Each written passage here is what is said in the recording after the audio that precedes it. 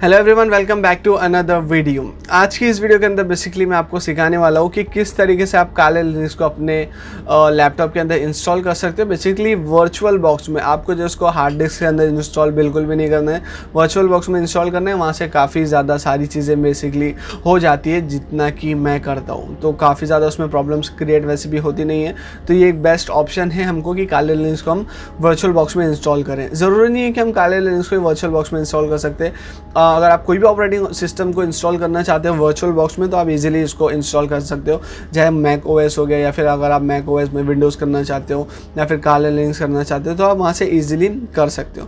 तो चलिए लैपटॉप के ऊपर चलते हैं और मैं आपको बता दूँ कि किस तरीके से सारी चीज़ों को इंस्टॉल करना है। एकदम सिंपल वे है वीडियो ज़्यादा मैं लेंदी नहीं करने वाला हूँ, एकदम शॉर्ट में समझाने वाला हूँ और उम्मीद करता हूँ आपको समझ में आ जाएगा। अगर कोई चीज़ नहीं भी समझती है तो आप मुझे कमेंट सेक्शन में बिल्कुल पूछ सकते हो। चैनल पर नहीं होता चैनल को सब्सक्राइब कर लो बेल नोटिफिकेशन को ऑन कर दो, इससे हो गई ताकि फ्यूचर में आने वाली काफ़ी सॉरी अमेजिंग वीडियोज़ आप मेरी देख सकते हो।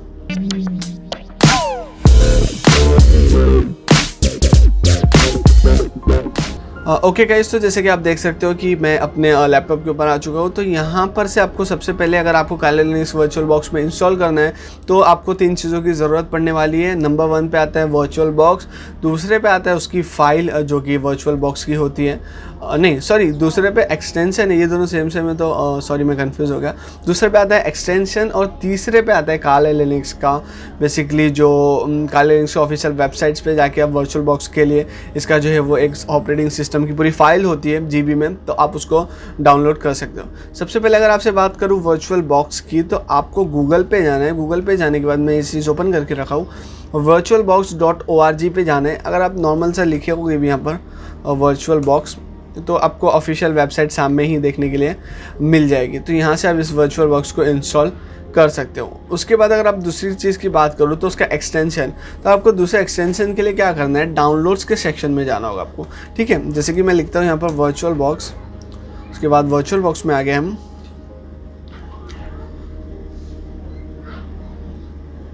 हम्म, एक मिनट हाँ। मैं यहाँ पे लिखता हूँ वर्चुअल बॉक्स उसके बाद जो ये नीचे डाउनलोड्स का सेक्शन है, उसमें हम क्लिक करते हैं तो यहाँ पर देखो प्लेटफॉर्म्स बता रहे हैं कि कौन से प्लेटफॉर्म्स का क्या पैकेज है। जो विंडोज़ के लिए है, वो पहला वाला है, और हमको विंडोज़ के लिए लेना है, बाकी चीज़ों के लिए अलग अलग चीज़ें। तो हम जैसे विंडोज़ के ऊपर क्लिक करेंगे तो ये फ़ाइल बेसिकली डाउनलोड होना स्टार्ट हो जाएगी, ठीक है? तो यहाँ से अब ये दो चीज़ इंस्टॉल हो गई। उसके बाद हमको क्या करना है, काले लिनिक्स की ऑफिशियल वेबसाइट्स पर जाना है, ठीक है? हम यहाँ पर काले लिनक्स के ऑफिशियल वेबसाइट्स के ऊपर आ गए। आप अगर जैसे इसको नीचे स्क्रॉल करोगे तो आपको इसके जो है वो बहुत सारे अलग अलग पैकेजेस देखने के लिए मिलेंगे। देखो, ये हमारा जो है बेसिकली वो वर्चुअल मशीन है तो हमको वर्चुअल मशीन के लिए इसको ढूंढना है, ठीक है? डॉक्यूमेंटेशन पे क्लिक करेंगे। जैसे हम यहाँ पर क्लिक करेंगे, नीचे स्क्रॉल करेंगे और नीचे गया यार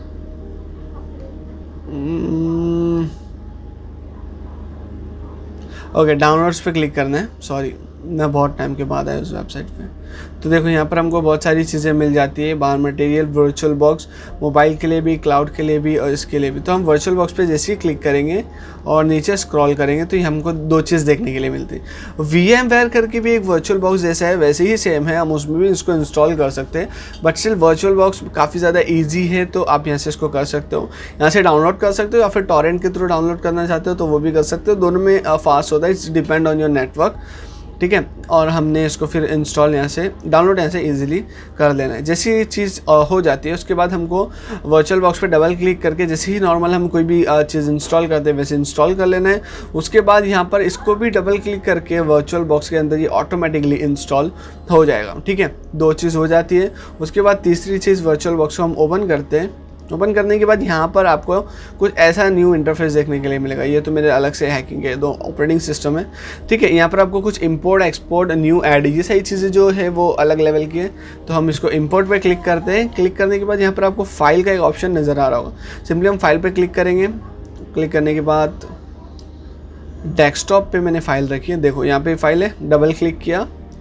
उसके बाद नेक्स्ट के ऊपर क्लिक करना है। उसके बाद यहाँ पर आपको बताएगा कि सीपीयू कितना रखना है रैम कितना रखना है, आपको नाम चेंज करना है या। ये सारी चीज़ एक बिगिनर लेवल के लिए जैसी है, इसको ऐसे ही रखना है, कुछ छेड़छाड़ नहीं करनी है। सिंपली हमको इम्पोर्ट के ऊपर क्लिक कर देना है। जैसे हम इम्पोर्ट के ऊपर क्लिक करेंगे कि ऑटोमेटिकली बेसिकली इंस्टॉल करना स्टार्ट कर देगा काले लिंक्स के अंदर और ये काफ़ी ज़्यादा ईजी वे में बताया, इससे ईजी वे और कोई भी नहीं है। ठीक है? मैंने ऑलरेडी इंस्टॉल कर रखा है तो इसको कैंसिल कर देते हैं। कैंसिल करने के बाद कुछ आपको इस तरीके का फिर इंटरफेस देखने के लिए मिलेगा, जब ये पूरी तरीके से हो जाता है। आईडी पासवर्ड सबका सेम होता है, काली।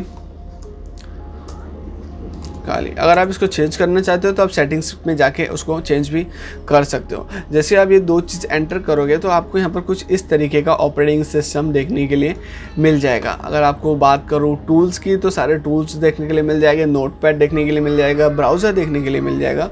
और ये जो हमारा सबसे ख़तरनाक चीज़ होती है, वो ये देखने के लिए मिल जाएगा, ठीक है? जैसे मैं इस पर क्लिक करता हूँ। तो यहाँ पर मेरा ये जो है वो सामने खुल जाएगा और यहाँ से जो भी चीज़ अगर मैं करना चाहता हूँ, वो चीज़ मैं यहाँ से इजीली कर सकता हूँ और ये चीज़ आराम से काम करती है वर्चुअल बॉक्स के अंदर और यहाँ पर जो आपका वाईफाई कनेक्टेड है आपके जो लैपटॉप में, वो ऑटोमेटिकली इसमें भी कनेक्टेड हो जाएगा, इसमें भी कोई प्रॉब्लम्स नहीं आती।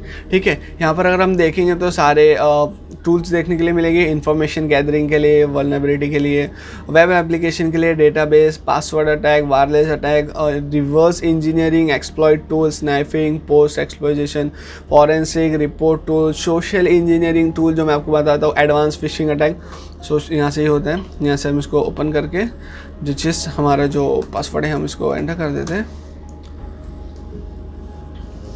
एंटर करने के बाद यहाँ पर ये चीज़ को एग्री करके यहाँ से आप सोशल इंजीनियरिंग अटैक स्टार्ट कर सकते हो।